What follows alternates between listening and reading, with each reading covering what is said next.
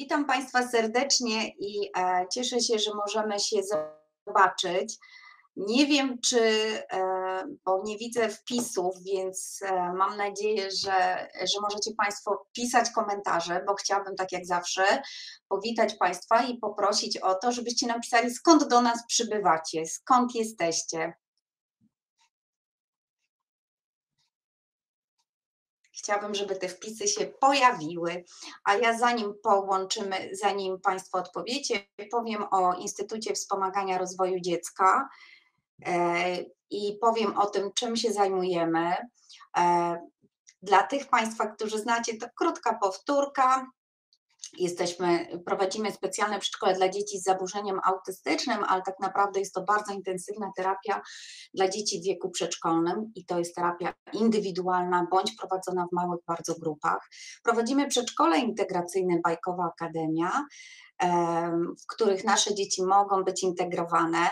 Prowadzimy niepubliczny ośrodek doskonalenia nauczycieli, gdzie Państwo możecie zdobywać i poszerzać wiedzę na temat terapii dzieci z autyzmem oraz niepubliczną poradnię psychologiczno-pedagogiczną, w której stawiamy diagnozy i pomagamy w pisaniu programów. Tak jak część z Państwa już zapewne wie, jesteśmy członkami, założycielami Alliance for Scientific Autism Intervention, e, amerykańskiego stowarzyszenia, które zajmuje się propagowaniem wiedzy na temat skutecznych metod e, terapii dzieci z autyzmem, przede wszystkim propagowania skutecznego modelu. Jeszcze raz bardzo prosiłabym, żebyście Państwo napisali, skąd się z nami łączycie, skąd przybywacie, a ja jeszcze pozwolę sobie parę informacji przekazać na temat tego, czym się zajmujemy. Kolejną rzeczą, którą zajmuje się Instytut Wspomagania Rozwoju Dziecka, to są placówki rekomendowane. I placówki rekomendowane w IWRD no, mają dla nas ogromne znaczenie, bo mają e, na celu pomoc dzieciom z autyzmem w najlepszy z możliwych sposobów. Nasze rekomendacje uzyskuje się na rok, to nie jest nic, co jest dane na zawsze. I dzięki tym rekomendacjom e, możemy zapewnić osoby potrzebujące i szukające pomocy właśnie dla swoich dzieci E, o tym, że te placówki są naprawdę najlepsze. Placówki rekomendowane przez e, IWRD znajdują się w wielu miejscach w Polsce. Dołączają do nas następne, więc mamy nadzieję, że ta rodzina się będzie powiększała. I e, co jest bardzo ważne, e, naprawdę świadczą pomoc na najwyższym poziomie. Możecie Państwo znaleźć listę tych placówek lub zainteresować się tym, żeby być taką placówką jak najbliż, w najbliższym czasie. Model terapii, który my propagujemy, to jest model e, pozytywny nurt stosowanej analizy zachowania. I Również ten e, model terapii jest wprowadzony w naszych placówkach, rekomendowany. I naszym najważniejszym celem jest zapewnienie każdemu z dzieci pomocy, o której wiemy, że jest skuteczna, bezpieczna i przyjazna. Staramy się bardzo, żeby już od pierwszego okresu kontaktu z dzieckiem, czyli tak zwanego okresu adaptacji dziecka do, e, do naszej terapii, e, nawiązywać bliską relację z dzieckiem, zapewniać mu poczucie bezpieczeństwa. I to jest najważniejszy wstępny etap. E, witam cały czas Państwo dołączacie. Moja druga prośba, żebyście napisali jaką, kim jesteście. Czy jesteście rodzicami e, dzieci z autyzmem, dzieci z dysleksją, czy jesteście specjalistami, nauczycielami, skąd do nas przybywacie i też jaką, jakie macie e, Państwo wykształcenie, czy czym się zajmujecie, lub czy jesteście tutaj właśnie jako rodzice. Dobrze, tak jak powiedziałam, najważniejszym okresem jest okres adaptacji, czyli nawiązania bliskiej relacji z dzieckiem. Kolejnym etapem, bardzo ważnym, jest przygotowanie do nauki. E, I to, co jest bardzo istotne, żeby o tym pamiętać i to, co my robimy w swojej pracy, to jest e, wkładanie i mm, rozpoczynanie terapii od takich zadań, które są dla dziecka przyjazne i które dziecko zaakceptuje. Nigdy nie wprowadzamy zadań, które są dla dziecka trudne albo których nie chce wykonywać na dzień dobry. Ale przede wszystkim budujemy taki indywidualny system motywacyjny, który powoduje, że dziecko jest e, szczęśliwe i dumne ze swoich osiągnięć, chętnie się uczy i cieszy się ze swoich sukcesów terapia, e, program powinien uwzględniać wszystkie sfery funkcjonowania, a przede wszystkim zapewnić realizację tych celów, które są najważniejsze dla rozwoju każdego dziecka. Pisząc program terapeutyczny dla dziecka ze spektrum autyzmu, musimy pamiętać, że e, musimy mu pomóc rozwinąć te umiejętności, które posiadają jego rówieśnicy. Więc pisząc dobry program e, terapeutyczny, musimy się tym rówieśnikom przyjrzeć i na takie sfery położyć nacisk. E, przebieg terapii, codzienne dbanie o poczucie bezpieczeństwa i zadowolenia dziecka. Mm, modyfikowanie programu w oparciu o potrzeby i możliwości. Czy mnie słychać? Bo tutaj ktoś zapytał, zaczynamy.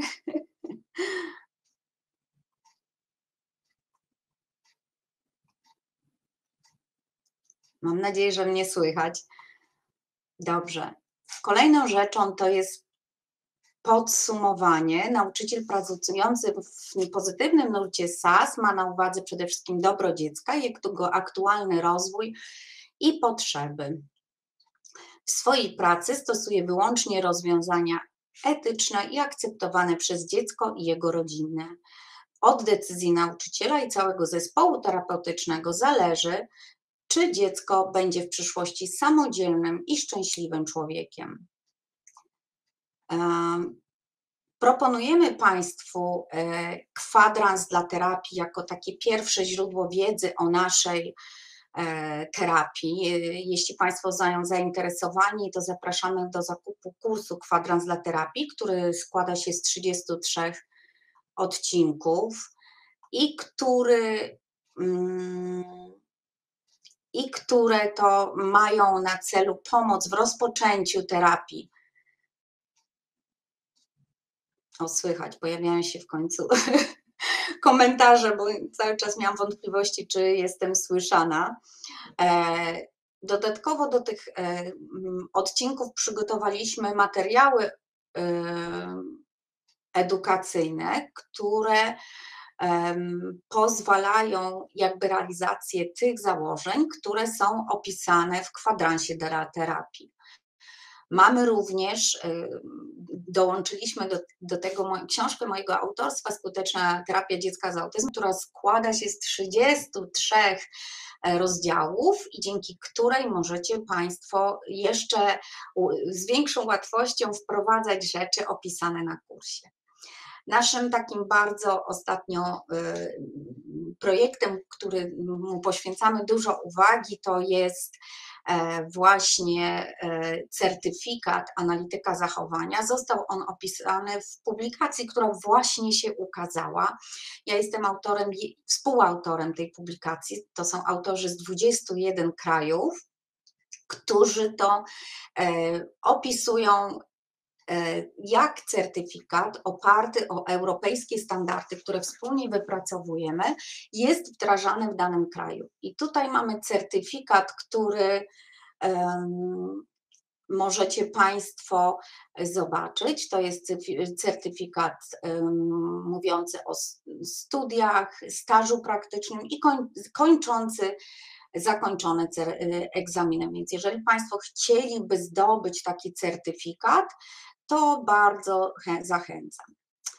E, no i przejdę teraz do e, najważniejszego elementu, a mianowicie do komitetu naukowego, który, mm, jak Państwo widzą, zgromadził wiele wspaniałych osobowości, a najważniejszą z nich jest profesor Marta Bogdanowicz, której niestety cały czas nie widzę i nie wiem, co się dzieje, że jej nie ma z nami, nie wiem, czy są jakieś problemy z łączeniem się. Ja sobie pozwolę przedstawić jej życiorys, bo to już o, pojawia się na szczęście, bo już po prostu tutaj dostaję zawału. Witam Marto bardzo serdecznie. Tak, ja również. Jezu, jesteś, bo ja już się tak bardzo przestraszyłam, że coś się stało z łączeniem się, także bardzo się cieszę, Czuwam, że czuwam, czuwam.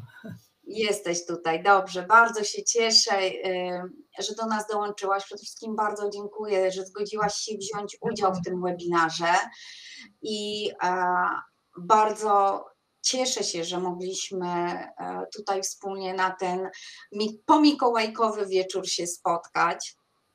Ja tylko powiem, że e, profesor Marta Bogdanowicz jest z nami od samego początku.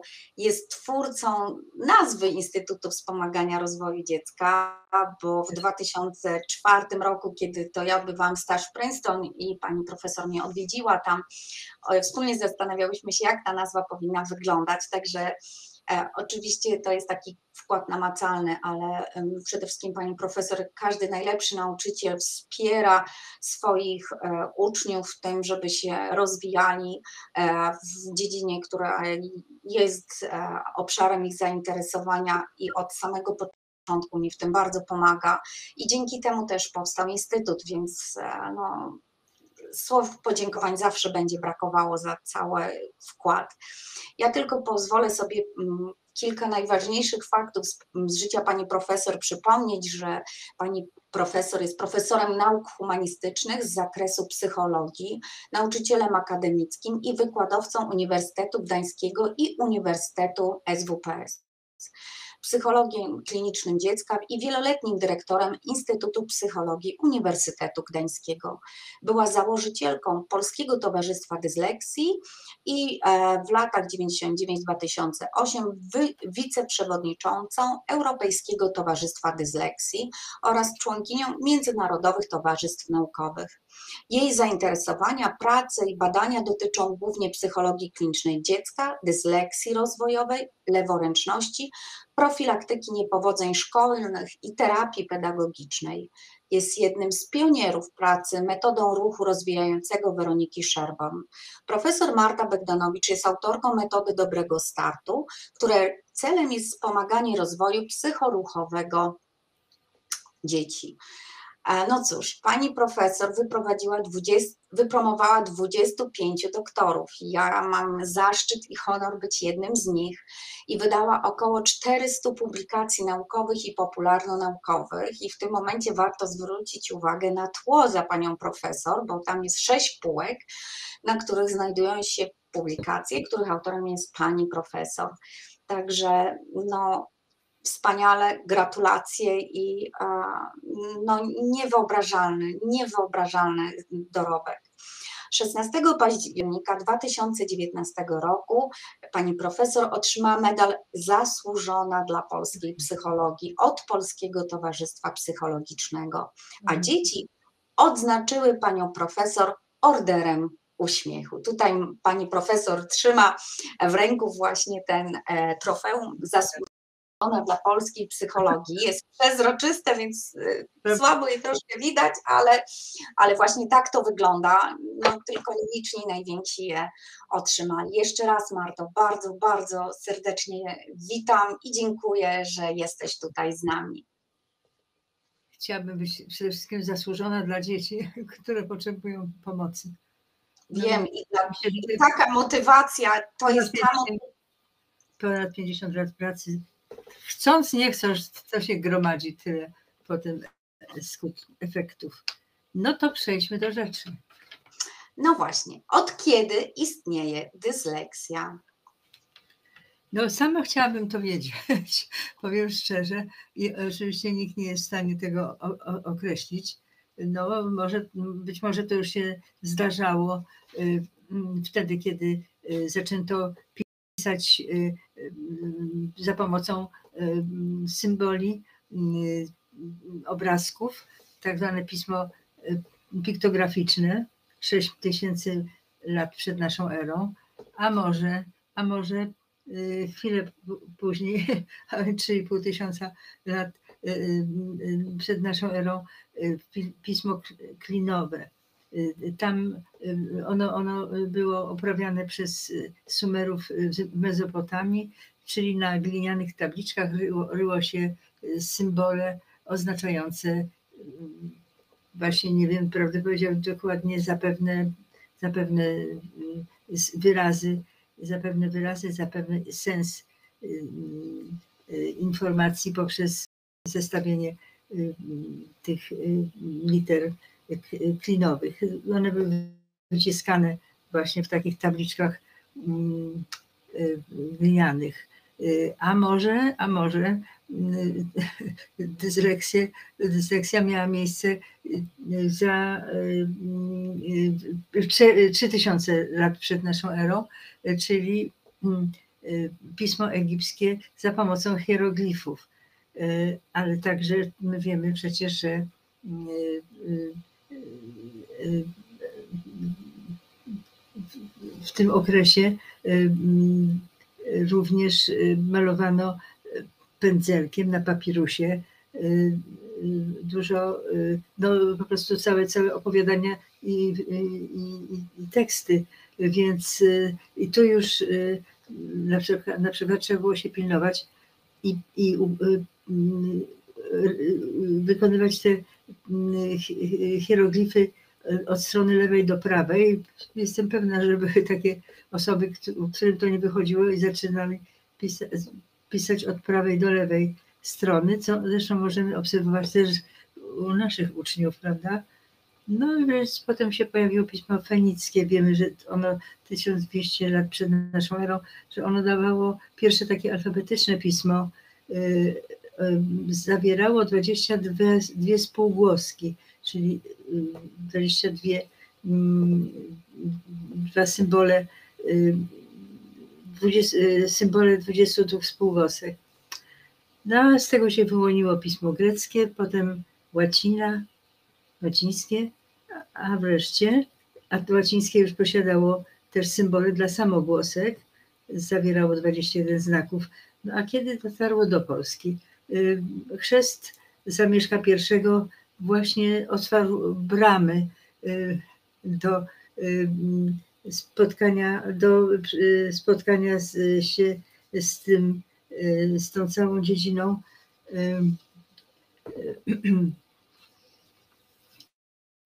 no, sposobu wyrażania i, i swoich przekonań, a także, a także y, no, y, dokumentowania, y, zapisywania i, i archiwizowania w jakimś sensie tego, co działo się wówczas na, y, na świecie. Także y, być, sądzę, że, że wystarczająco długo rozwijało się y, pismo, te, to, którym, którym się obecnie po, posługujemy, y, żeby mm, wydaje mi się, że całkiem logiczne jest to, że były oczywiście takie osoby, którym się myliły obrazki, którym się myliły, którzy, y, nie, nie, nieprawidłowo y, lokalizowali też w przestrzeni elementy hieroglifów. Także problem, jak widać, jest stary. I teraz pytanie, czy mamy do tego y, w tej chwili jakieś narzędzia y, mm, wykrycia dysleksji oraz, ym, oraz dokonania, dokonania mm, po, udzielenie pomocy, prawda? Ym, Zatem pytanie jest y, następne, y, mianowicie y, kied- od kiedy dysleksją za, zaczęto się zajmować w sposób naukowy. Y, I tutaj wyliczyłam 126 lat. Dlaczego? Ano dlatego, że y, wówczas y, tutaj myślę, myślałam o dysleksji rozwojowej, czyli dysleksji, która trudności w, w czytaniu, które się pojawiają od samego początku nauki szkolnej. Jednakże wcześniej, wcześniej odkryto dyslekcję nabytą. Cóż to takiego? No, otóż to jest y, zaburzenie, y, które y, występuje u osób, które już umiały czytać i niestety tę umiejętność utraciły. E, I trafiłam na taki zapis, z którego wynika, że w pierwszym wieku naszej ery y, Pliniusz i y, Valerius Maximus opisali takiego dorosłego uczonego Ateńczyka. No i skoro był uczonym, to niewątpliwie musiał umieć czytać i pisać, prawda? Y, i Ten, ten zapis, y, ten kazus jest opisany w- pracach tych autorów, o których wspomniałam, w, pierwszej, w pierwszym wieku naszej ery. Ale, y, no, aha, jeszcze dodam, że oczywiście nie tylko wtedy y, takie przypadki miały miejsce. No, spotykamy się z nimi niestety na co dzień, y, jeżeli zajmujemy się neurologią czy psychoneurologią. W mojej poradni zdrowia psychicznego, w której pracowałam mm, no, od lat 60. i, i mm, nie, nie mogłam się z nimi rozstać, mimo że przeszłam na uniwersytet, zostawiłam sobie ten jeden najważniejszy dzień na pobyt, na kontakt z, rzeczywistością. Y, mm, Otóż y, mieliśmy mm, chłopca, y, który będąc uczniem klasy piątej, y, będąc pod wpływem alkoholu, e, będąc y, na koloniach letnich, a więc nie za dobrze pilnowany, poszedł się kąpać i utonął na 10 minut. To się nazywa w medycynie prawie utopiony, takie określenie jest. No ale udało się go y, od, y, y, odzyskać, udało się uruchomić jego organizm, ale mózgu niestety nie. To znaczy ten chłopczyk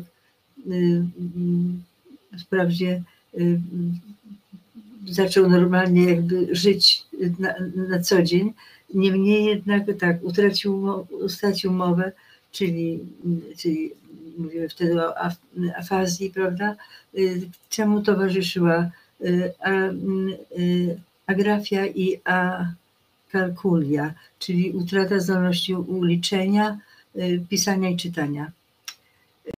Y, No, y, to także y, dotyczyło y, y, takiej naszej pacjentki, która no, zachorowała na grypę wirusową i ten wirus zaatakował y, mózg y, y, i, y, i niestety y, y, również w takim ciężkim stanie została przewieziona do, do, y, do Gdańska. Ja badałam tę dziewczynę miesiąc po, po tym incydencie. Zapalenie opon mózgowych i mózgu niestety u tej dziewczynki y, to była też ostatnia klasa szkoły, o, to była ostatnia klasa szkoły podstawowej, spowodowała, że ona utraciła mowę, umiejętność czytania, liczenia. Była z takim sobie średnim, średnią uczennicą, a natomiast tutaj y, to właściwie wszystkie te umiejętności szkolne zniknęły.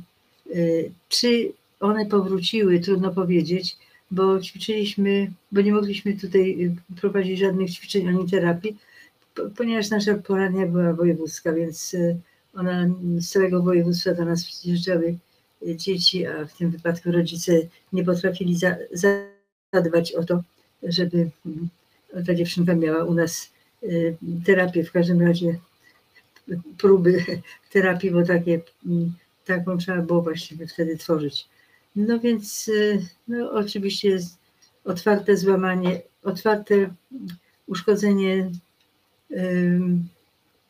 głowy i mózgu, y, uszkodzenie mózgu no, da, dawało, dało także, także w trzecim z tych przypadków, który prowadziliśmy zresztą y, przez kilka lat tego chłopca i tutaj on y, jednak był w stanie dokończyć szkołę podstawową, był, był w stanie zrobić szkołę zawodową, y, ale na, na warunkach osoby niepełnosprawnej. Natomiast rodzice bardzo chcieli, żeby był w stanie zrobić na, żeby, żeby przejść przez szkołę na wyższym poziomie. Niestety nie, był, nie, nie udało się to. Nie, nie był w stanie bardziej skomplikowanych treści, bardziej abstrakcyjnych zrozumieć, a następnie nim przetwarzać. Tutaj pozwoliłam sobie pokazać Państwu takie, taki przykład, żebyście wiedzieli, że to nie jest tylko książka, to jest rzeczywiście życie, życie, życie codzienne. I ta dysleksja zatem ma takie właśnie dwa oblicza. Dysleksja nabyta, no i dysleksja, dysleksja rozwojowa. Jeszcze może powiem, że wiedza o dysleksji nabytej poprzedziła, poprzedziła wiedzę o świadomość, że istnieje dysleksja rozwojowa, dlatego że ona, że te zaburzenia występowały jednocześnie z afazją. A od XVIII wieku, szczególnie w XIX wieku, niezwykle intensywnie badano właśnie i nie tylko badano, ale również, również właśnie udzielano pomocy osobom z osobom z afazją, czyli osobom, które utraciły zdolność mówienia, tak?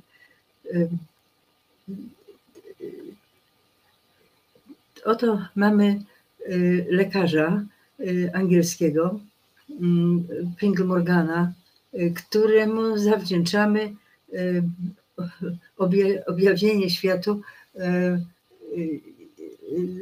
objawienie właśnie istnienia dysleksji rozwojowej. Z tym, otóż do, do niego nauczyciel skierował swojego ucznia, który był takim dziwnym uczniem, ponieważ był mądrym chłopcem, radził sobie nieźle w szkole, poza tym, że właśnie nie, nie był w stanie czytać na miarę swoich możliwości intelektualnych. Są, więc nauczyciel myślał, że chłopiec ma po prostu jakąś wadę wzroku, tak? Dlatego wysłał go do lekarza. Morgan stwierdził, wykluczył jakiekolwiek wady wzroku. W tym wypadku uznał, że przypadek jest o tyle ciekawy, że on jeszcze nigdy nie czytał o czymś podobnym i w związku z powyższym postanowił opublikować ten opis tego przypadku. Persji, lat 14, jeszcze o tyle był, potrafił robić także błędy w swoim własnym imieniu. I zamiast Percy pisać Percy, tak, czyli przestawiał, przestawiał litery podczas zapisywania swojego imienia. No i w 896 roku ta, ten artykuł się pojawił i w związku z tym to trzeba było jakoś nazwać ten przypadek i on zdecydował się na taki termin wrodzona ślepota słowna. Dlaczego? Dlatego, że termin ślepota słowna była, ten termin był używany w odniesieniu do nabytej dysleksji, tak? nad którą medycyna, nie tylko medycyna, pewnie in, jeszcze inne działy nauki terapii od XVIII wieku, a przynajmniej w XIX wieku intensywnie pracowano w sensie właśnie udzielania pomocy. Natomiast w tym wypadku to były, to były Persji na przykład i, i, i podobne dzieci, one, oni nigdy nie umieli czytać. To, to było od samego początku nie, nie, nie radzili sobie z tym, dlatego on do, dodał słowo wrodzona, tak, w odniesieniu do nabytej. Także y, był y, ta pu- publikacja y, British Medical Journal y, mm, y,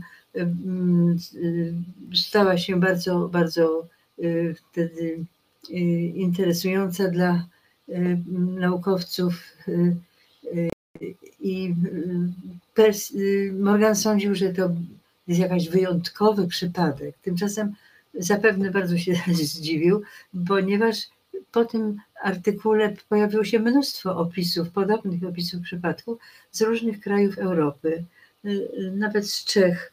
Y, Taki lekarz, y, mm, który właśnie za- zajmował się mm, afazją, y, też opisał dziewczynkę, która była pod jego opieką. Miała identyczne problemy, co ten, to, co Persji. Także w ten sposób zaczęła się, zaczęła się gromadzić wiedza o ro- wrodzonej y, dysleksji, czyli o, o zaburzeniu, które się pojawia od samego początku nauki szkolnej. Ym, James Hinshelwood y, w 1900 i 1917 roku y,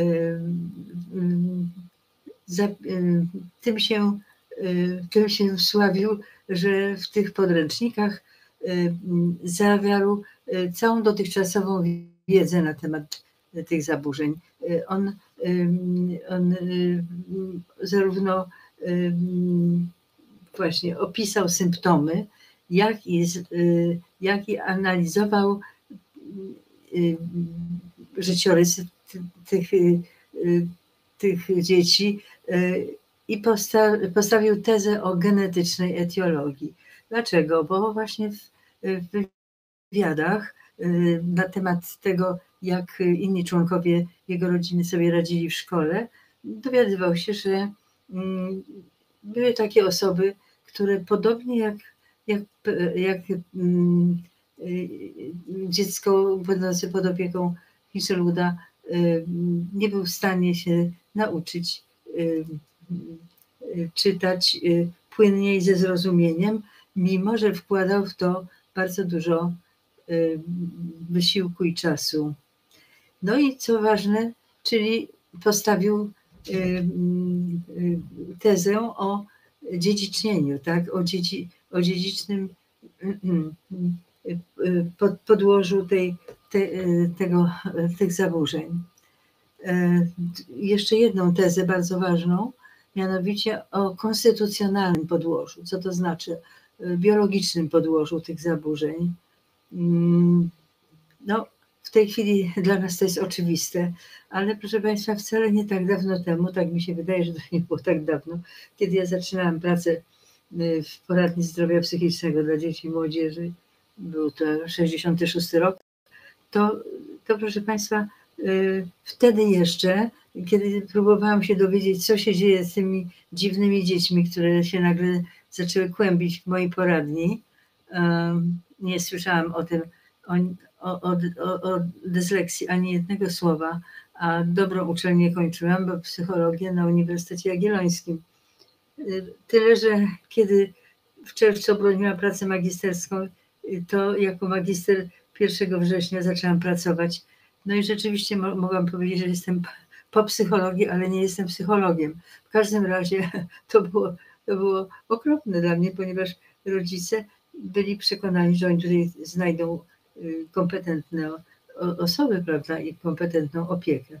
Tymczasem przy, przyjeżdżali albo załamani, albo wściekli, albo po prostu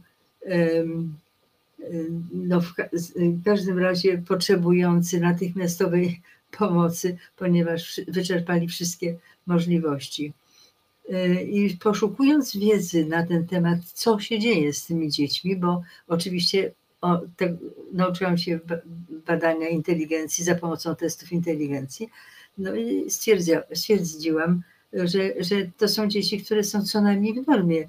Wiele, wiele z nich miały wyniki powyżej przeciętnej, z wysoką inteligencją nawet. Więc po prostu to jest paradoks, który nie, nie umiałam wy- wyjaśnić. Patrzyłam na te dzieci tak samo zdziwiona, jak one na mnie. Więc y, jednym słowem, chciałam, dlaczego o tym mówię? Dlatego, że, że poszukując y, materiałów, dotarłam też do takich materiałów, w których y, opisano te, te przypadki jako skutek zaburzeń emocjonalnych, tak? Jako skutek szoku emocjonalnego, ciężkiego jakiegoś przeżycia ym, natury emocjonalnej. Y, Czyli, że y, y, próbowano objaśniać y, właśnie y, te trudności y, u tych dzieci y, w świetle y, psychoanalizy. Y, Także y, szczególnie we Francji, z Francji mieliśmy właśnie materiały na ten temat. Natomiast on, on tutaj jako Amerykanin st- stojący mocno na, na nogach, na konkretach, y, jednak uchwycił ten wątek y, konstytucjonalny, czyli biologiczne podłoże, jakieś y, niepra- nieprawidłowości położył ośrodkowego układu nerwowego. I dzięki temu, że właśnie w tych trzech y, sferach się wypowiedział w tych sw- swoich podręcznikach, mm, dysleksja rozwojowa została mm, właściwie mm, y, wyodrębniona jako jednostka nozologiczna. Y, W gruncie rzeczy z czasem pojawiły się następujące terminy. Chciałabym teraz o terminach powiedzieć, bo one nie są jasne. Y, Mianowicie te spe, specyficzne trudności w czytaniu i pisaniu mogą się pojawiać w różnej, różnej, różnych formach. W formie trudności w uczeniu się czytania i to z tego na- nazywane jest dysleksją, przy czym w większości, ja bym powiedziała, że wszystkich przypadkach dysleksji y, y, y, mamy do czynienia także z trudnościami w opanowaniu poprawnej pisowni. Także dysleksji najczęściej towarzyszy jednak dysortografia. Pojęcia dysortografii prze, m, przejęłam, prze, prze, przeniosłam z, z, ze środowiska naukowego w, w, w, w, Ka- y, w Pradze Czeskiej, tak, w Uniwersytecie imienia Karola. Tam, proszę Państwa, y, kiedy ja się pojawiłam na stażu, y, to, to, był, to był prze, przełom, to był początek 70. lat, to oni mieli już klinikę, której y, dokonywano zarówno badań naukowych, jak, a przede wszystkim, a przede wszystkim właśnie y, dział, y, działano na, na rzecz poprawy sytuacji szkolnej dziecka y, dzięki temu, że y, oddziały y, prowadzono terapię, y, korekcję deficytów rozwojowych. Tak jak to w 1965 roku opisała y, Halina Spionek w książce y, psycho, zaburzenia psychoruchowego rozwoju dziecka. A więc ja o, tych, o tym dowiedziałam się, że istnieje dysleksja i że są takie właśnie trzy terminy. Jeszcze dokończę sprawę z tymi terminami. Y, Dzięki temu, że moja przyjaciółka logopedka była na letnim obozie logopedycznym właśnie w, w, Pradze czeskiej. Y, Przywiozła książkę. Y, No, więc to było coś fantastycznego dla mnie, z tym, że oczywiście nikt z nas nie umiał e, języka czeskiego, no ale słowniczek mojego ojca przetrwał wojnę, bo był w Krakowie, gdyby był w Warszawie, to może by nie przetrwał, prawda? I ja tak tutaj z tym słowniczkiem przemierzałam tę książkę. Otóż tam y, Czesi są prak- takimi bardzo praktycznymi y, ludźmi, y, a mianowicie Oni zaproponowali taką właśnie takie rozróżnienia, jak dysleksja, dysortografia i dysgrafia, ponieważ te rozróżnienia są oparte o objaw, tak? One wskazują na objaw. I myślę, że dla nauczyciela najważniejsze jest to, żeby ten objaw zobaczyć i żeby go zrozumieć, tak? Więc dysleksja jako specyficzne trudności w uczeniu się czytania, dysortografia trudności w opanowaniu poprawnej pisowni. I tutaj nie chodzi, nie chodzi tylko o to, że dziecko nie wie, y, czy mm, po jakich spółgłoskach pisze się RZ i że oskreską wymienia się na O, y, tylko po prostu zniekształ, wszelkie zniekształcenia pisma, y, zapisu mowy, na przykład opuszczanie liter, dodawanie liter, przestawianie liter, mylenie liter, to jest właśnie dysortografia. Y, I ona z reguły współwystępuje z dysleksją, natomiast są również przypadki czystej dysortografii, gdzie nigdy nie było żadnych problemów z czytaniem, od początku są problemy z opanowaniem poprawnej pisowni. I dysgrafia jako trudności w zakresie opanowania czynności pisania, niski poziom graficzny pisma. Y, I proszę zauważyć, że te dwie formy, dysleksja, dysortografia, y, one są skutkiem skutkiem zaburzeń funkcji poznawczych, y, motorycznych i, współ, i integracji, współdziałania tych funkcji ze sobą, podczas kiedy dysgrafia to są trudności czysto, y, czysto y, graficzne, a więc wynikające z zaburzeń rozwoju ruchowego. Czyli tutaj ten patomechanizm jest trochę inny, niemniej bardzo często występują wszystkie te formy jednocześnie. Mamy jeszcze termin dyskalkulia, czyli specyficzne zaburzenia uczenia się matematyki. Y, no, y,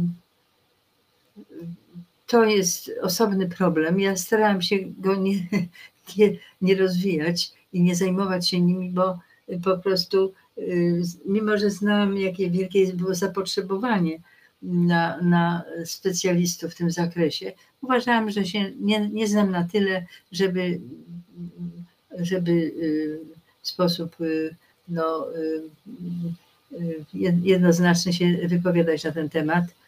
Dokąd mnie nie dopadli maturzyści, czyli byli maturzyści, którzy po 4-5 lat z rzędu odbywali maturę, egzamin maturalny poprawkowy, z żadnym wynikiem pozytywnym. E, także w pewnym momencie rzeczywiście uległam e, w tym sensie, że po prostu zrobiliśmy konferencję na temat dyskalkuli i, po, i to ma zbawienne e, efekty. Jeszcze powiem Państwu, że w Polsce, mm, aha, jeszcze jest termin zaburzenia ekspresji pisania. To znajdujemy obecnie w międzynarodowych klasyfikacjach Y, y, y, chorób i zaburzeń. Otóż zaburzenie ekspresji pisania. Ja bym, to jest tłumaczone czasem na komunikacji pisemnej, zaburzenia komunikacji pisemnej. Ja bym to jeszcze bardziej wyraziście określiła, że jest to zaburzenia wypowiadania się za pomocą pisma. Chodzi bowiem o to, jak to są osoby, które nie potrafią Mm, tworzyć y, tekstu ze zdań. Nie potrafił wcześniej jeszcze zdań tworzyć z, do, z poprawnie sformułowanych pod względem gramatycznym słów, tak? Y, czyli, czyli mm, y, ten, tym się w ogóle, jak teraz Państwo widzą, tym się w zasadzie chyba nikt w ogóle nie zajmuje i nie przejmuje. Przecież nie, nie nie spotkałam w, w opiniach z poradni psychologiczno-pedagogicznej odpowiedzi na ten temat, czy wypowiedzi na ten temat. E, a jeżeli to dopiero ostatnie lata e, uświadamiają, że jeszcze istnieje taka forma, czyli to są osoby, które nie potrafią się wypowiadać za pomocą pisma, czyli tak, piszą wypracowanie, napiszcie, pani nauczycielka, napiszcie wypracowanie na temat tego, jak spędziłem wakacje, tak? No więc cztery zdania na kartce, y, błędy gramatyczne, y, żadnego rozplanowania na, na kartce, tylko wszystko jest spisane jednym ciurkiem, nie ma, nie ma żadnych akapitów. Błędy właśnie też gramatyczne. No więc moja ostatnia doktorka tym się właśnie zajmowała. To jest około 5% badanych przez nią uczniów wykazywało tego rodzaju trudności. No więc kto to diagnozuje? Tylko i wyłącznie lo, yy, oczywiście polonista, prawda? Polonista od, odbiera prace domowe czy, czy klasówki i mówi, no, no co ty napisałaś? No, pięć zdań napisałaś, no, yy, to, to nie jest w ogóle żadna, żadna praca pisemna, tak? Więc chciałam zwrócić uwagę Państwa, że istnieje jeszcze takie zaburzenie. A dlaczego wcześniej tego nikt nie wiedział? Ja bym powiedziała, naprawdę nikt nie wiedział. Otóż dlatego sądzę, że w tych klasyfikacjach międzynarodowych te, to, ten rodzaj zaburzeń pisania, czyli wypowiadania się za pomocą pisma, znajdował się w punkcie pod inne zaburzenia. Kto by tam czytał inne? No tam no nic tam z tego specjalnie nie wynikało. A tymczasem to może być równie przykry, y, mm, przykry mm, fragment życia szkolnego y, naszych, naszych uczniów z, tą, z, tą, z tym zaburzeniem. No i teraz jeszcze mamy taki termin legastenia. W latach 30., więc informacje o, o, o dysleksji w Polsce pojawiły się pomiędzy I a II wojną światową, właśnie w latach 30. i tam pojawiło się pojęcie legastenia. To jest pojęcie przewzie- prze- prze- przeniesione z literatury niemieckiej. No ale ostatnia, ostatnia chyba publikacja, która y, zawiera to słowo, to y, publikacja y, podręcznik Psychologia wychowawcza profesora Baleja, który opierając się właśnie na niemieckiej literaturze używa tego terminu.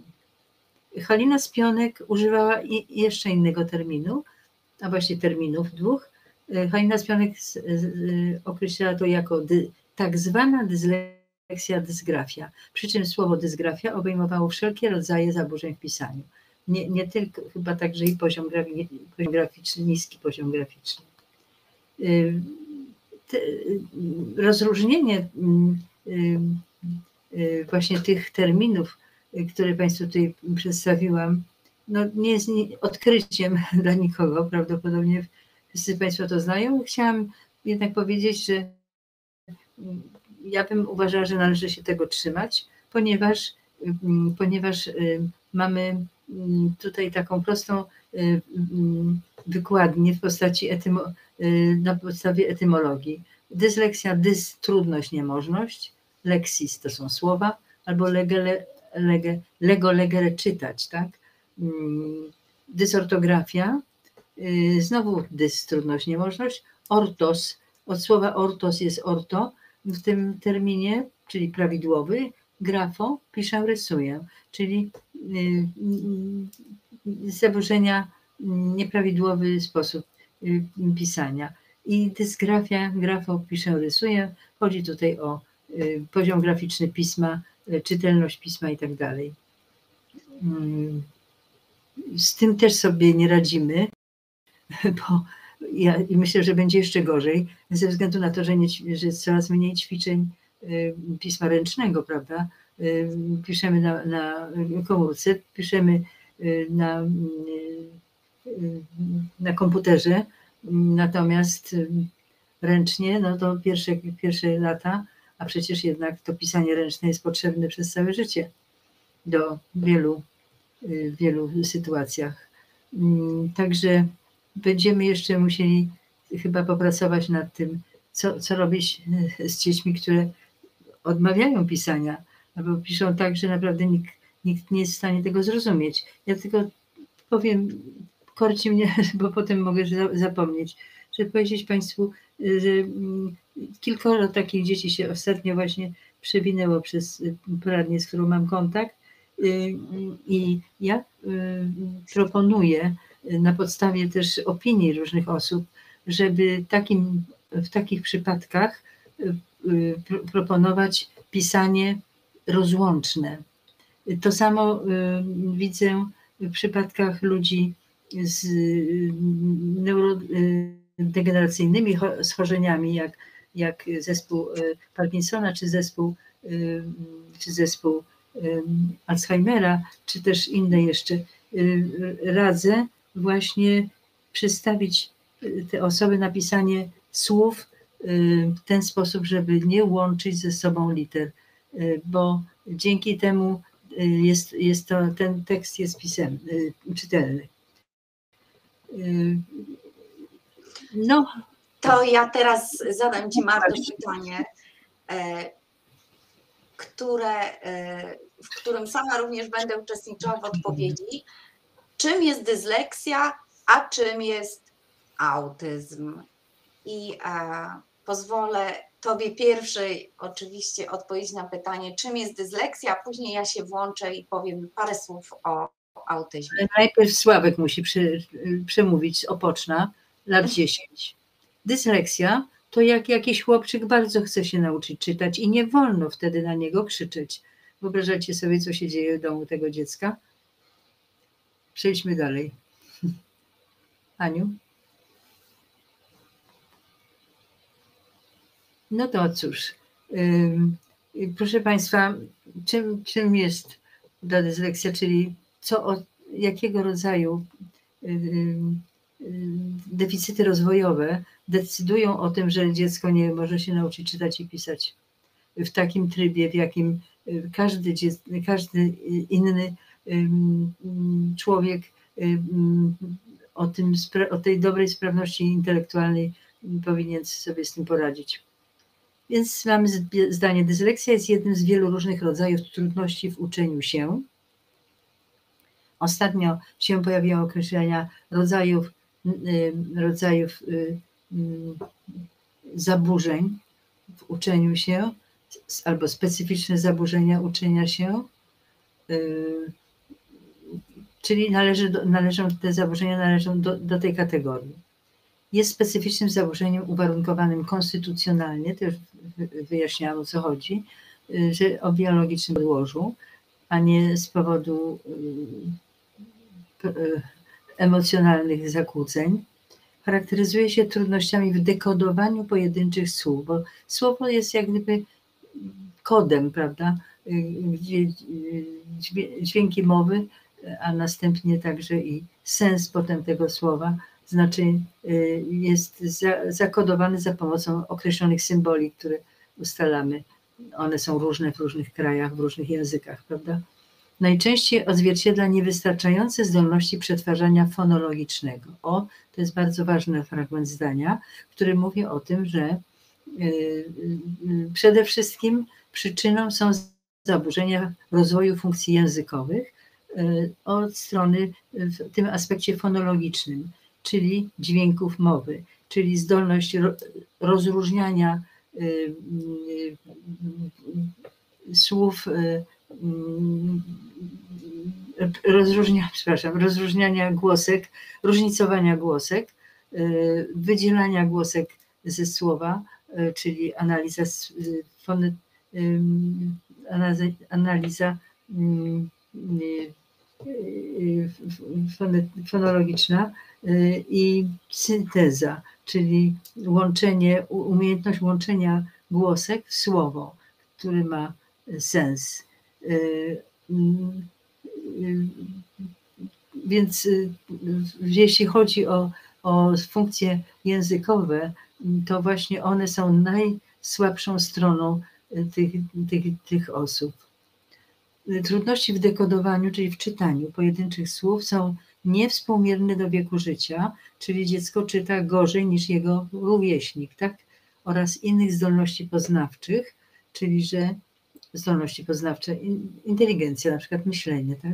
Zdolność myślenia znacznie gorzej y, wypo, y, czyta niż y, inne y, dziecko z takim samym potencjałem intelektualnym, tak?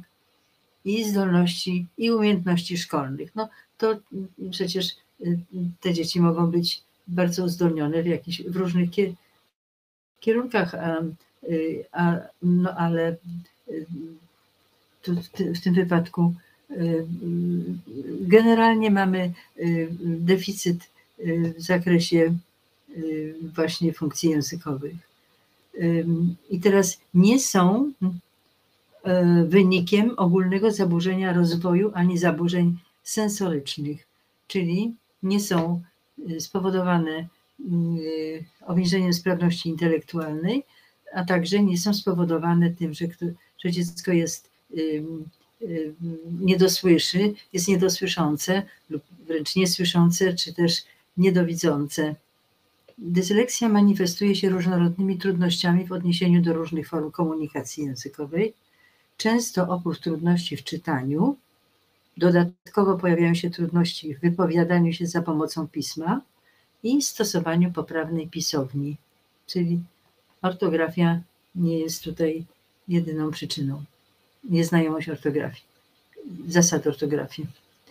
Y, Proszę popatrzeć teraz, co, y, jak uzupełniła, mm, mm, u- jak została uzupełniona ta y, definicja y, przez y, Międzynarodowe Towarzystwo Dysleksji.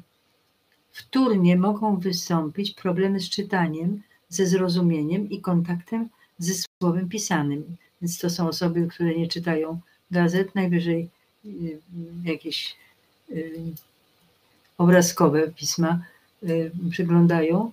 Y, Te, to właśnie te wtórne zaburzenia mogą ograniczyć rozwój słownictwa i wiedzy ogólnej. No, mówi nam to tyle, że w szkole dziecko ma kłopot z powodu czytania i pisania, ale gdy wyrośnie na człowieka dorosłego, y, to y, ma po prostu znacznie y, szerszy zakres y, problemów do pokonania i, i często ich nie, nie jest w stanie pokonać.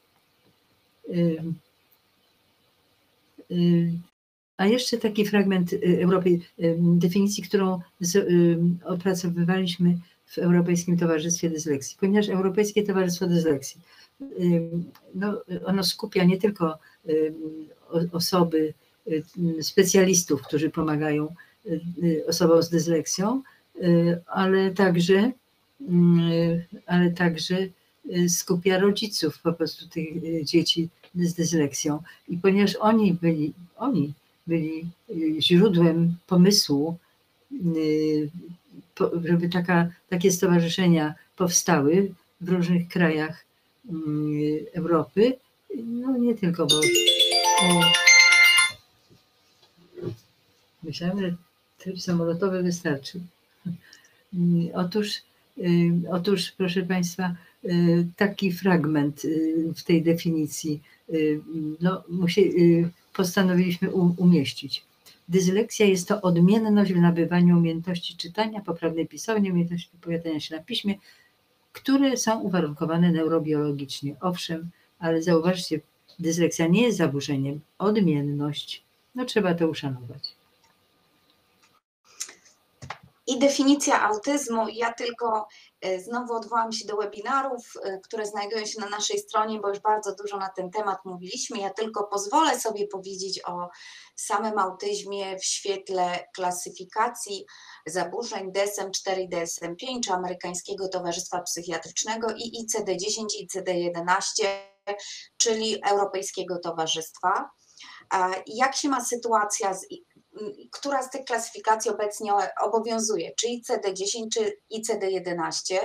Otóż e, od tego roku zaczął się pięcioletni okres przejściowy, w którym e, możemy zamiennie używać klasyfikacji ICD-10 i ICD-11, aczkolwiek e, takie formalne tłumaczenie klasyfikacji chorób i problemów zdrowotnych ICD-11 ma się pojawić w okresie od czerwca do grudnia 2023. Czyli te tłumaczenia, które pokazujemy teraz, to nie są jeszcze tłumaczenia takie oficjalne, oryginalne, obowiązujące. Wiemy już, jak to będzie wyglądało i jak wygląda. e, i Jakie są różnice? I może powiem, e, DSM-4 i CD10 to, to mniej więcej te klasyfikacje sobie odpowiadają. I w, m, przy ICD-10 i DSM-4 mówimy o całościowych zaburzeniach rozwoju. Jest to oddzielna grupa zaburzeń całościowych i w, w, ramach, w jej ramach wyróżniono pięć jednostek. E, natomiast jeżeli mówimy o autyzmie, to wyróżniono tutaj triadę e, tych objawów i do niej zaliczamy jakościowe nieprawidłowości w zachowaniach społecznych, nieprawidłowości w porozumiewaniu się i nieprawidłowe formy zachowań. To, to, jest, to była taka triada, która obowiązywała i obowiązuje nadal, bo tak jak powiedziałam, do 2027 roku mamy okres przejściowy i możemy zarówno używać ICD-11, jak i ICD-10. Jak, to, jak te zaburzenia wyglądały w ICD-10, to pokażę tylko, że było, był tutaj autyzm dziecięcy, zespół Aspergera, autyzm atypowy, zespół Reta i dziecięce zaburzenie dezintegracyjne. No i co się dzieje w DSM-5? I WICD-11 i tylko wspomnę, że DSM-5 obowiązuje 2013 roku, a ICD-11 od 2018 roku w Europie, no u nas troszeczkę Można jest by jeszcze powiedzieć, przepraszam, że DSM tak. jest, to jest to organizacja y, amerykańska, tak? Y, tak. Stowarzyszenie mm, Psychiatrów Amerykańskich wydaje y, i czuwa nad tą Y, wersją, natomiast ICD, ICD 11 czy 10 wcześniej, jest to Światowa Organizacja Zdrowia, czyli Europa, tak? Tu mamy tak, amerykański tak. punkt widzenia i europejski. Tak. No i um, w 2013 DSM-5 i w 2018 w ICD-11 pojawia się pojęcie zaburzenia ze spektrum autyzmu. Tak to zostało przetłumaczone na razie na język polski, zobaczymy, czy zostanie to utrzymane. E, I zostało wydzielone kontinuum nasilenia objawów. Ja to pokażę, jak to będzie w ICD-11, jak to będzie wyglądało. E, I z tej triady e, objawów zrobiono dwie domeny diagnostyczne, czyli e, jakby zaburzenia rozwoju mowy weszły w zaburzenia rozwoju zachowań społecznych i tutaj nie brak mowy, ale brak mowy funkcjonalnej lub brak e, kompensacji mowy e, gestami jest oceniany jako zaburzenie w, sferze zachowań społecznych. No i to, co jest bardzo ważne w ICD-11, stawiając diagnozę e, zaburzenia ze spektrum autyzmu, będzie konieczne wymaganie również testów określających poziom funkcjonowania intelektualnego i rozwoju e, funkcjonalnego języka. No i e, tak jak powiedziałam, w ICD-11 w rozdziale szóstym zaburzenia psychiczne, behawioralne lub neurorozwojowe wyróżnia się następujące grupy zaburzeń, no i możecie Państwo zobaczyć i pod punktem 6A02 znajduje się zaburzenie ze spektrum autyzmu. I wyróżniono tutaj e, właśnie tą stopniowalność, to kontinuum, e, czyli 6A przykładowo 0,2 2.0 to jest zaburzenie ze spektrum autyzmu bez zaburzeń rozwoju intelektualnego i z łagodnymi zaburzeniami języka funkcjonalnego lub bez nich. E, natomiast 6A02 e, 5, to już tutaj mamy zaburzenie ze spektrum autyzmu z zaburzeniami rozwoju intelektualnego i brakiem języka funkcjonalnego, czyli widzimy tą stopniowalność. Tutaj pani profesor pokazuje podręczniki. Które, w których właśnie te e, klasyfikacje są e, opisane. Także bardzo duża zmiana, bo nie mamy już osobno opisanego zespołu Aspergera. Będzie się on w tej klasyfikacji ze spektrum autyzmu znajdował w tym punkcie 6A02.0, gdzie nie będzie już e, właśnie mm, zaburzeń rozwoju intelektualnego i łagodne zaburzenia języka funkcjonalnego lub całkowity brak zaburzeń języka funkcjonalnego. Także zespół Aspergera znika jakby już z naszego słownictwa i e, no już tutaj e, jest to chyba ta największa zmiana, która e, no, skutkuje wieloma teraz działaniami, bo ujawniają się osoby, które mówią sobie, że są ze spektrum autyzmu, że wiele tych objawów rzeczywiście potrafią e, zidentyfikować u siebie. ale o tym mówiliśmy na poprzednich webinarach i teraz ja przejdę e, do bardzo ważnego, interesującego nas wszystkich pytania.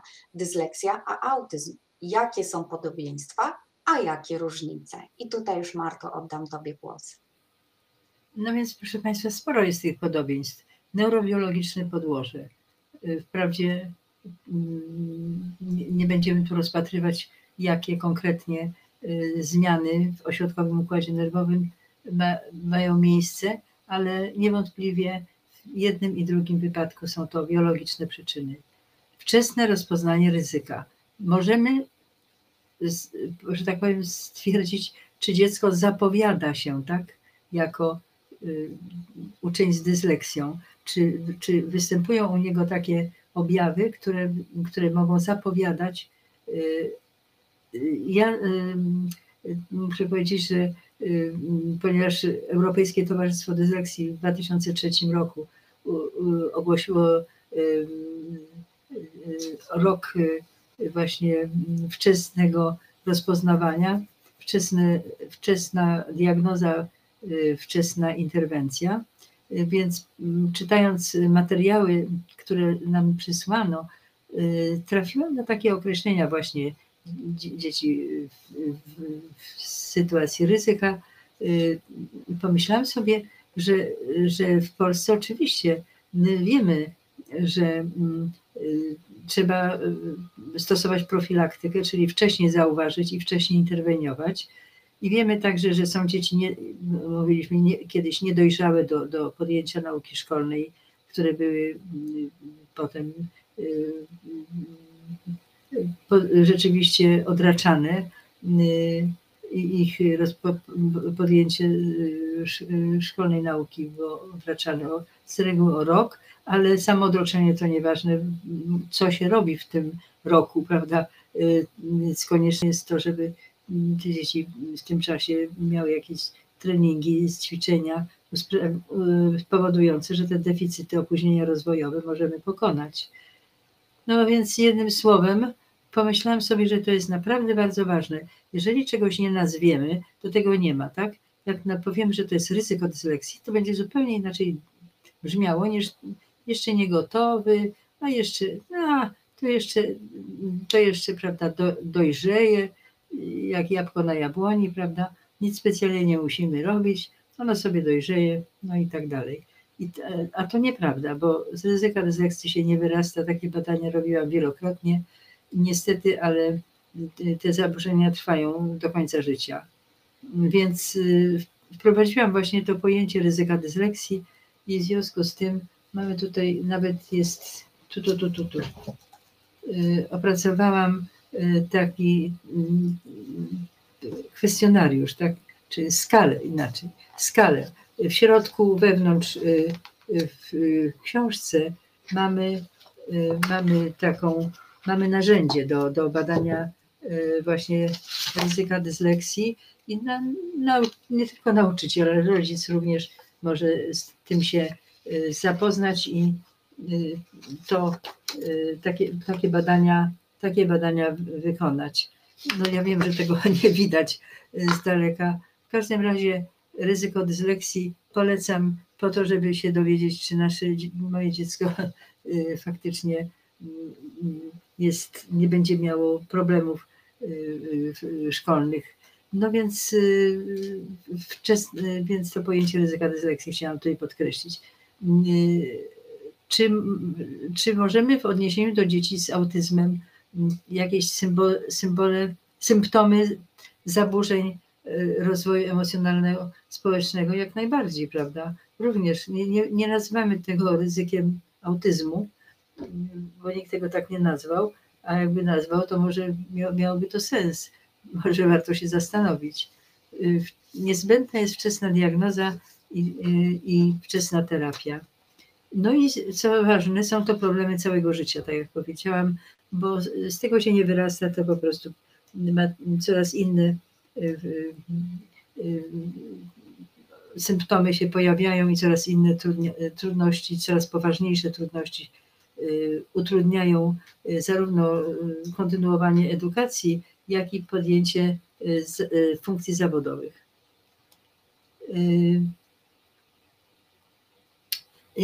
Również to, co jest podobne, to to, to że, że nasilenie zaburzeń jest też określone na takich trzech, trzech poziomach. Łagodne zaburzenie, umiarkowane i znaczne lub głębokie. Zarówno w dysleksji, jak i, jak i w, w autyzmie. A więc jest wystarczająco dużo, żeby jakby przyjrzeć się temu i to, to, to może być, jest, żebyśmy przy, przy tworzeniu diagnozy różnicowej, żebyśmy to dobrze potrafili ocenić. Jakie są różnice? No dysleksja, dysleksję rozpoznajemy zawsze tylko w normie intelektualnej, prawda? Podczas kiedy autyzm może być rozpoznawany zarówno w przypadku normy intelektualnej, jak i niepełnosprawności. Prawdę powiedziawszy, wtedy, kiedy ja rozpo, rozpo, zaczęłam moją pracę zawodową w poradni, wówczas autyzm w ogóle nie był stwierdzany jako osobna jednostka chorobowa, tylko jako symptom albo schizofrenii dziecięcej, albo jako, jako symbol Y, osób y, niepełnosprawnych, czyli mówiliśmy wtedy upośledzonych umysłowo, prawda? Więc y, tak, więc mamy tutaj, to jest znacząca i najważniejsza różnica pomiędzy dysleksją a autyzmem, to jest właśnie stwierdzenie, jakie są możliwości intelektualne tego, tej osoby. Dysleksja powstaje, tak jak już mówiłam, przede wszystkim na skutek zaburzeń rozwoju, inaczej Halina Spionek pisa, mówiła deficytów rozwojowych, tak? opóźnienia w rozwoju funkcji językowych, ale również i percepcyjno-motorycznych yy, i ich integracji, czyli że również percepcji wzrokowej, percepcji słuchowej, motoryki i ich współdziałania. A autyzm? W wypadku autyzmu istotną, istotnym zaburzeniem jest zaburzenie rozwoju emocjonalno-społecznego, czyli zupełnie inna płaszczyzna, inny, inny obszar funkcjonowania psychicznego. No więc mając takie tutaj rozeznanie, jakie są podobieństwa, jakie są różnice, no warto po, było właśnie zadać Kolejne pytanie. Czy dziecko z autyzmem może mieć dysleksję? Podstawowe pytanie i bardzo często jestem nadal, nadal jestem zapytywana również y, za pomocą y, y, telefon, telefonicznej, na drodze telefonicznej, czy na, drodze, czy na drodze pisemnej. I, i I chodzi o to, że mm, dotychczas y, muszę się Państwu przyznać, y, że miałam niezbyt, no, sytuacja była niejasna. Zacznijmy od tego. W tej chwili przecież mamy tak opracowaną wiedzę na ten temat. Wtedy, wtedy tego, tego nie było. Nie było po prostu materiału, do którego można byłoby sensownie sięgnąć nad tym się zastanowić. Co więcej, w ICD-10 mm, przecież, o czym słyszeliśmy przed chwileczką, y, y, autyzm był określany jako zaburzenie całościowe. Jeżeli całościowe, no to nie może, to wydawało się, że wtedy nie można rozpoznać dysleksji u, takiej, u takiego dziecka, które ma rozpoznaną rozpoznany autyzm jako zaburzenie całościowe i, jednocześnie ma problemy z czytelnym pisaniem, no to trudno powiedzieć, że ono ma wy, wybiórcze, y, wąskozakresowe, tak określamy jeszcze, wybiórcze, wąskozakresowe zaburzenia y, funkcji językowych, głównie funkcji językowych. Dlatego też, kiedy do, do, otrzymałam takie zapytanie ze strony Ministerstwa edukacji, czy można y, dziecku z autyzmem również rozpoznać dysleksję, napisałam, że nie, ze względu na to, że autyzm jest całościowym zaburzeniem. No ale przyszła kolejna y, wersja y, modyfikacji ICD-10, a w każdym razie 11, gdzie nie ma tego rodzaju zapisu. Co więcej, mm, dużo takich zapytań ze strony rodziców do nas dochodzi. Wobec tego przedyskutowałyśmy tę, tę sprawę z panią profesor Hanną Jaklewicz i z panią profesor Ewą Pisulą z Uniwersytetu Warszawskiego. I uzgodniliśmy nasze stanowisko, że, że owszem, można, można, można rozpoznać dysleksję u, u osoby, która, u której już rozpoznano wcześniej autyzm, ale pod jednym warunkiem, że sprawność intelektualna jest w normie.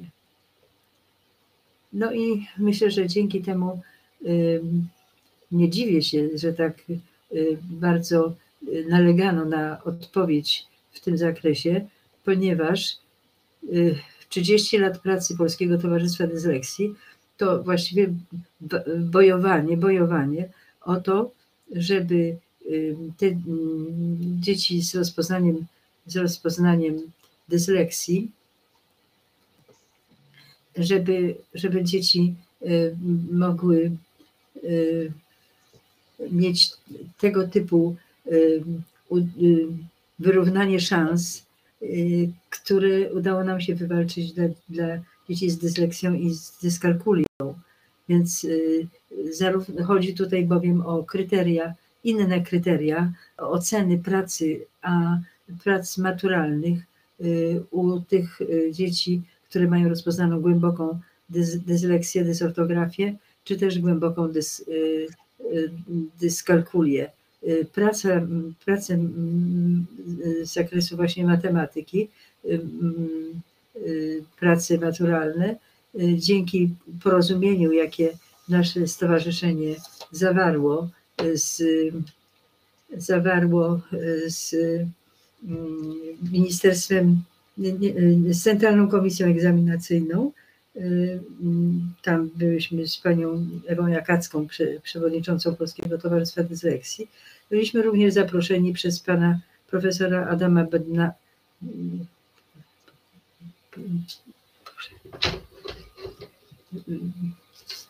Rzecznika Praw Obywatelskich. Tak, Bodnar. Adam, Adam Bodnar. Adam? Bodnar. No tak. Widać, że należy kończyć. Y, y, otóż, y, otóż proszę Państwa, otóż dzięki temu, że zawarliśmy taki układ, że te, te dzieci będą, ci, ci uczniowie, ci maturzyści na przykład będą mieli, będą mieli oceniane prace, prace egzaminacyjne według innych kryteriów, Y, a mianowicie specjaliści, y, nie, czyli osoby specjalnie już dobrane do tej, w tej komisji, do tej komisji, członkowie tej komisji będą mogli ocenić, czy te trudności, które y, spowodowały, że natura mogłaby być oceniana jako niezdana z matematyki, czy można wytłumaczyć właśnie zaburzeniami typu dyskalkulii nie wyobrażają sobie Państwo, co, co się wydarzyło w życiorysach wielu osób. Dzięki temu wiele osób mogło podjąć naukę wyższej uczelni, ponieważ jeżeli oczywiście niezdane, nie jest matematyka niezdana, no to po prostu jest, jest szlaban na dalsze szkolenia w, w wyższej uczelni. A więc nie mogę się rozwijać dalej, ponieważ nie mam możliwości wyjścia na wyższą uczelnię, nawet jeżeli to jest y, na przykład Akademia Muzyczna, czy e, e, też nie, y, więc y, czy Akademia Sztuk Pięknych. Mm, to są osoby, które dzięki temu rozwiązaniu, które wprowadziliśmy i temu porozumieniu, po czterech czy pięciu latach zdawania egzaminów poprawkowych, bezskutecznie zresztą, z, negatywnym wynikiem, wreszcie, wreszcie mogą podjąć pracę, mm, będą mogły podjąć studia, a następnie pracę zawodową, którą sobie u- umyślili i, wymarzyli. No i tylko tyle powiem, że ostatnio zadzwonił do mnie pan, który przeszedł przez tą mękę, ale też właśnie y, y, po, powiedział mi, no może jeszcze cztery lata wcześniej zadzwonił do mnie, że zdał maturę y, tym razem dzięki tym ustaleniom z matematyki i gdzie się pan wybiera na psychologię, dowiedziałam się. Teraz w, w te wakacje y, zadzwonił do mnie ponownie i mówi, "Z- obroniłem pracę magisterską z psychologii, a tu, a tu obok mnie stoją rodzice i płaczą. Y, Drodzy Państwo, y, tak to doszliśmy, doszliśmy do końca. Pytanie o publikację o osobach dorosłych. Ja chciałam Państwa zawiadomić, że otwiera się rzeczywiście, rzeczywiście mm, obszar, y, którym nikt się dotąd specjalnie nie zajmował, czy w ogóle nie zajmował, a mianowicie jest, jest coraz to do mnie do, docierają pytania ze strony dorosłych osób, co mam zrobić, Y, nie umiem szybko czytać, jestem wprawdzie, jestem wprawdzie prawnikiem, ale muszę bardzo dużo tekstów czytać ze zrozumieniem i z tym mam problem, co robić, tak? Więc nie mamy ani metod, metody do badania, do diagnozowania, owszem mamy, y, w pracowni testów psychologicznych i pedagogicznych. W Gdańsku jestem współautorem tego, y, te, tego testu diagnostycznego, ale w zasadzie y, w tych y, międzynarodowych klasyfikacjach jest powiedziane, że w zasadzie niekonieczny jest test, że na podstawie wywiadu równie dobrze można zdiagnozować y, dysleksję u osoby dorosłej, ale w ogóle nie mamy terapeutów, którzy by umieli, chcieli pracować z dorosłymi osobami. Ja myślę, że to jest całkiem nowy, nowy obszar. Co możemy pokazać tutaj w Polsce? No więc pierwsza książka Portrety nie tylko sławnych osób z dysleksją. Otóż przeczytałam zupełnie przy, przy, przypadek, będąc y, na hali gąsienicowej, y, życiorys Andersena, y, który błagał w- liście, y, listownie y, swojego y, sponsora, który płacił za niego czesne, żeby go zabrał z tej szkoły, ponieważ nauczyciel mówi do niego tak. Ma pan najbardziej tępy łeb, jaki kiedykolwiek widziałem i jeszcze pan sobie wyobraża, że pan coś wart. Więc to, to było dla mnie wstrząsające, powiem szczerze. No i taka z tego wyszła książka, y, gdzie można po, poczytać, ale bardzo ciekawe opisy niekoniecznie sławnych osób z dysleksją. Y, Kolejna, ponieważ był ten problem, się ujawnił, że z dorosłymi nikt nie umie pracować i, na razie nik, nikogo nie, nie, nie jestem w stanie polecić, więc y, zorganizowaliśmy konferencję y, w Gdańsku na temat dyskalkulii, y, ale też właśnie dotyczy ona dorosłych osób. Niesamowicie historie ludzie tam przeżywają w związku z tym. Y, To jest książka wydana przez Harmonię, tak? Obydwie te książki wydawnictwo Harmonia w Gdańsku. Y, Natomiast sprawozdanie z prac doktorskich, bardzo ciekawe, pani Marta Łockiewicz i pani Katarzyna Maria Bogdanowicz. Tak się składa, że mam dużo doświadczeń praktycznych y, dzięki mojej córce. Więc takie mamy oto tylko trzy książki, ale dalej nie wiemy, co robić z tymi ludźmi, kiedy to jest problem poważny. Y, Ja przyciągnęłam tę moją wypowiedź y, i już Państwu nie przeczytam dramatycznych listów, ale niesłychanie dramatycznych listów, jakie do, do, dostaję niekiedy od, od y, moich respondentów, którzy mówią o tym, jak kompletnie nie, nie potrafią sterować swoją, swoimi marzeniami y, o życiu zawodowym, ponieważ po prostu, po prostu nie mają, nie mają matury, nie mają, y, nie mają mm, w związku z tym również przygotowania zawodowego. Proszę wybaczyć mi y, te momenty zachwiania pana Adama Bodnara. Chyba nie słyszał tego. To wspaniały człowiek, naprawdę to spotkanie było y, budujące. No więc y, ja chciałam Państwa przeprosić. Mój stan zdrowia jest tego rodzaju, że musiałam się bardzo, ale to bardzo zmobilizować, żeby dzisiaj wystąpić. Wiedziałam, że będą pewne problemy. Y, No, mam nadzieję, że Państwo to znios, znieśli jako tako i zrozumieją. No i życzymy wszystkim, wszystkim rzeczy zdrowia. To najważniejsze. Dziękuję.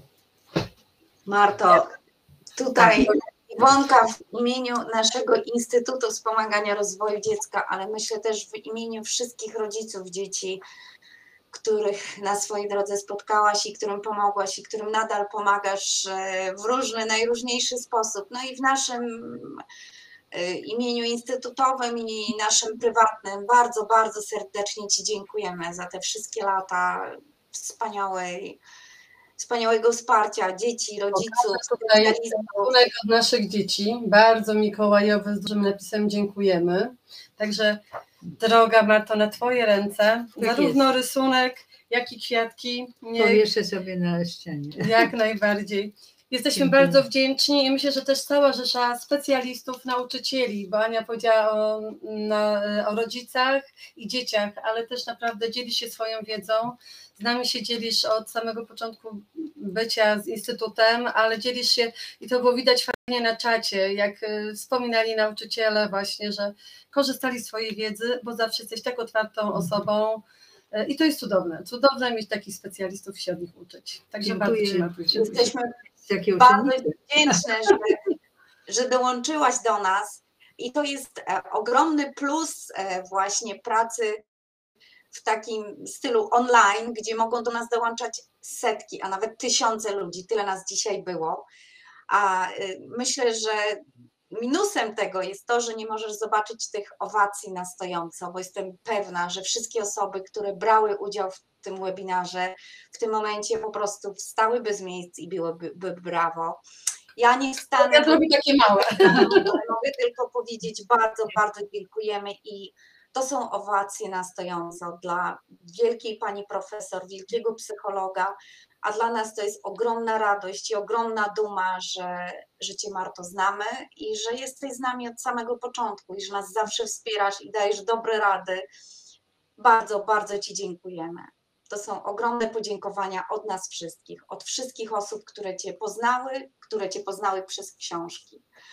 Państwu również dziękujemy za ostatni webinar, który miał miejsce w tym roku z taką najwspanialszą osobą, która z nami zawsze była. E, Wyślemy do Państwa podziękowania, e, które będą do pobrania na stronie. Tutaj poda- pojawia się em, adres tej strony. Będziecie Państwo musieli na, wejść na tą stronę i pobrać te podziękowania za udział w tym naszym spotkaniu, bo też Państwu bardzo serdecznie dziękujemy, że przez ten cały rok i poprzedni z nami byliście, towarzyszyliście nam w naszych spotkaniach.